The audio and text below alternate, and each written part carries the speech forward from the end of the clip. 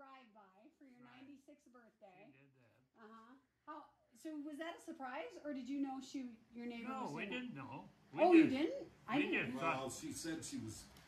We just gonna sit out there and just, Kurt says, "Uh, not gonna be anybody show up. It was too hot. I said, Oh, no, funny. But Sarah knows what she's doing. She really did a nice job. Okay, so Sarah set it up, and then you just said, "Oh, we'll sit out there." And Yeah. I was really surprised on the fire trucks and all the, Oh. the police cars. It was really fun. Yeah. So, what's one of your best memories of 96 years of life?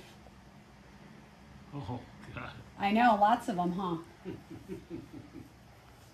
Having me. Yeah, when he she was stands little. alone. Only child?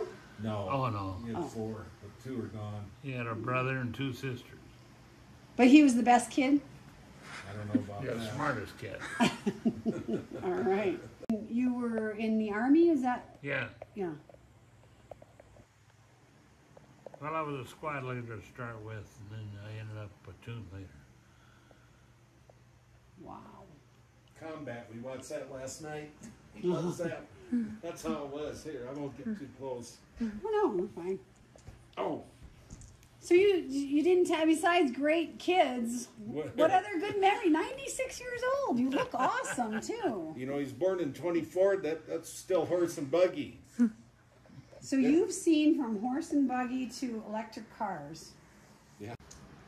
I don't know who told me about.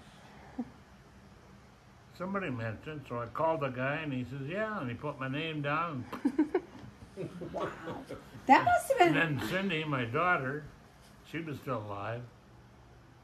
And we came home. All of us come out of there. And she and some of the other wives got together and had a band there waiting for us. oh how we come off the plane. That's Oh fun. my gosh, that is cool.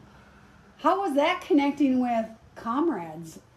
I mean, did you know anyone going on the trip? No, No. no. Some of the guys knew each other, Uh huh. but I, uh, it was two to a room. We got to Washington. And this guy, he lives over in Aurora. He got looking around. He saw guys he didn't want to be with. and I felt the same way. And we looked at each other and Oh, how I said, fun. What do you think? He said, Okay. The code. So he and I, that was his name, is Nicole. Oh, Nick. So he and I spent our time in a room. Huh. Well, we've gone all the time. They showed us all the to see, memorial stuff yeah. and change of the guard. It was quite a trip. sounds like a great trip.